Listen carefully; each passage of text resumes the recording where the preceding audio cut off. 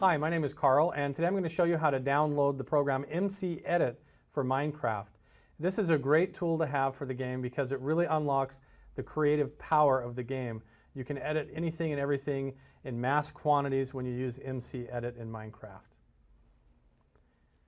So what you want to do is go to the website mcedit.net and once you're here at this page, you want to pick the platform that's going to fit your computer or your PC best.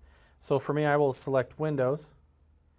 And then now we have uh, different operating systems. You have MC Edit 1.71, there's 32-bit and also 64-bit. So just make sure that you know what your computer is, either 32 or 64, and download the appropriate folder.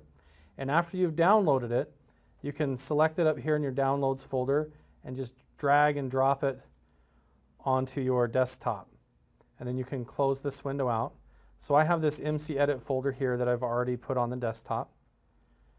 So you want to open that, and you'll see this file here called mcedit.exe. That's the executable file, and that's the one that you want to run. So go ahead and double click that and hit run. And it will launch the Minecraft Edit program. So you'll have this entire window here. There's lots of different things that you can do. You can either create a new world or load a world, open a level. So we'll select load a world.